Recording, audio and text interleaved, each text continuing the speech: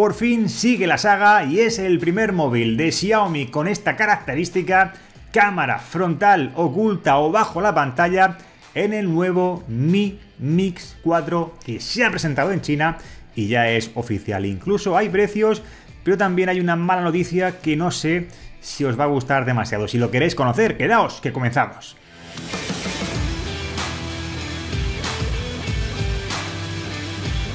Por fin tenemos ya entre nosotros ese Xiaomi Mi Mix 4, el primer móvil de la marca con cámara bajo pantalla.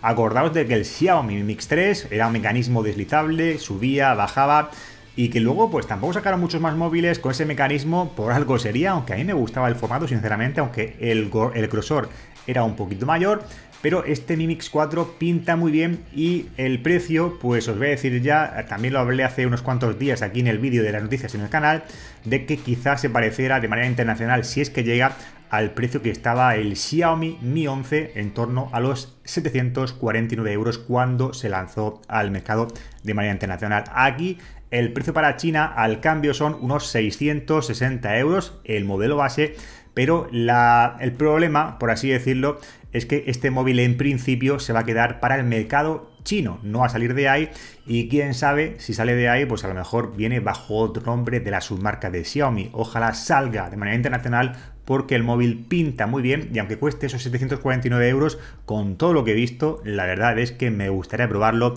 y traeros por supuesto el unboxing y la review en el canal. Lo que he hecho es meterme directamente a la página oficial de mi.com en chino, que están las características, las fotografías a más calidad y os dejaré también el enlace aquí abajo por si lo queréis visitar y ver las características. Y además también se ha presentado la Xiaomi Mi Pad 5 y 5 Pro que tienen una pintaza, aunque el diseño nos recuerda bastante a las de iPad, ¿no? A los de Apple y las cámaras traseras, lo que es el módulo, pues como es normal, es exactamente igual al que lleva, por ejemplo, también el Xiaomi Mi 11. Bueno, pues esta es la primera imagen que aparece en la página de mi.com, que aparece pues esa parte frontal sin nada que entorpezca y se ve como de fondo ese módulo de la cámara, triple cámara trasera, donde nos recuerda ese módulo pues al del Mi 11 Ultra, salvo que el Mi 11 Ultra también tiene una pequeña pantalla. No parece que saca mucho del chasis, también, si os fijáis, en la parte trasera está como ligeramente curvada, creo que también está en un acabado cerámico, cosa que está pues muy interesante.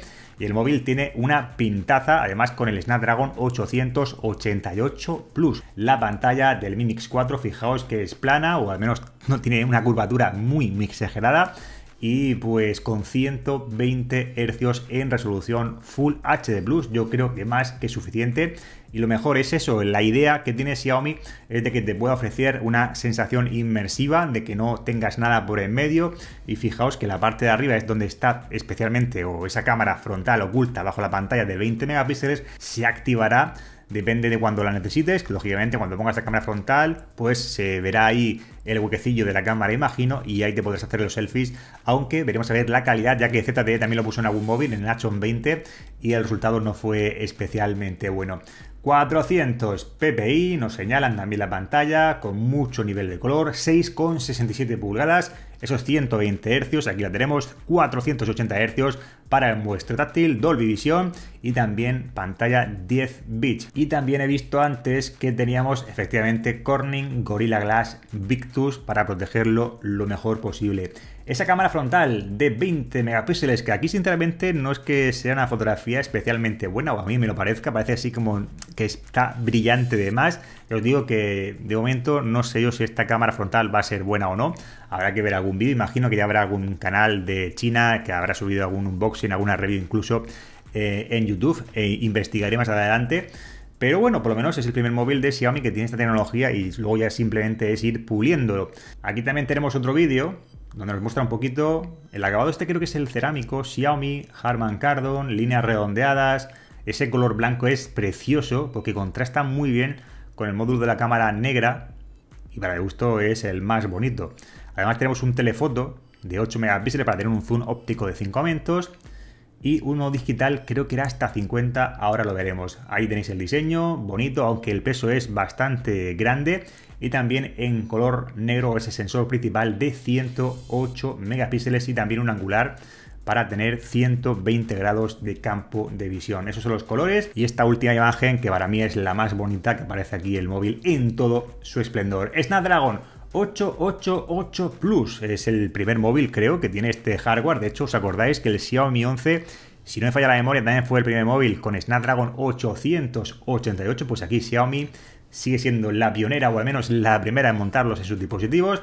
Tenemos también carga inalámbrica, tenemos también refrigeración para que no se caliente en exceso y los 4500 mAh de batería que pueden parecer cortos para tener esos 120 Hz, pero tenemos carga inalámbrica también de 50 vatios. Aquí tenemos las, velocidades, más para abajo, más muestras. Este es un color así, parece gris, pero imagino que será por el tema de la luz.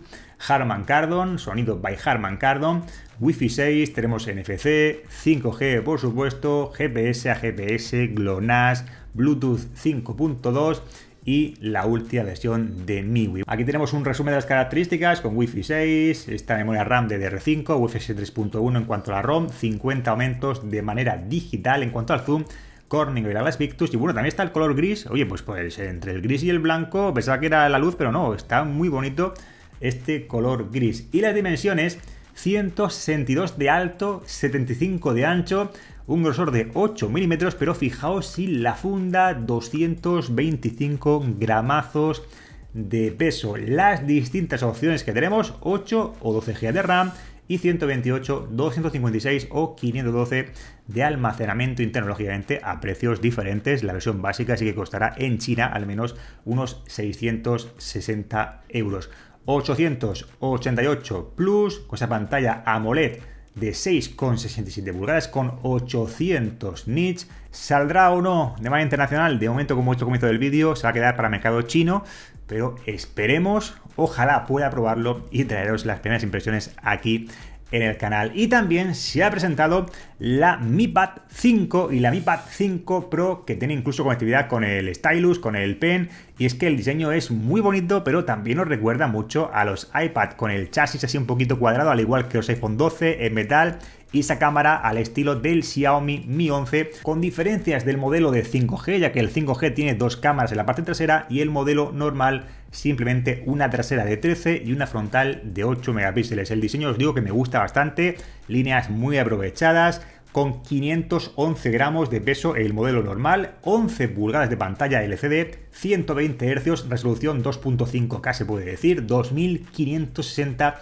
por 1600 con sonido Dolby, Snapdragon 860, este modelo normal, como digo, con 6 GB de RAM y 128 o 256 de memoria interna, una importante batería de 8720 mAh, 33 vatios de carga rápida con MIUI 4Pad y Android 11 al cambio, porque de momento tengo precios para China, estaría en 270 euros el modelo básico de esta Mi Pad 5 normal. Y luego, esa que veis en imagen, el modelo Pro, que os digo que tiene diferencias pues eh, a nivel estético con esa doble cámara y también a nivel de hardware, ya que también hay una versión de 5G y cambia el Snapdragon, en este caso el 870 con 6 u 8G de RAM y 128 o 256 de memoria interna. La pantalla, según he visto, es igual Simplemente que tenemos aquí cuatro altavoces, 518 gramos de peso y esa doble cámara trasera con 8 la frontal. Según he visto también, entre el modelo Wi-Fi y el modelo con 5G también cambia el sensor principal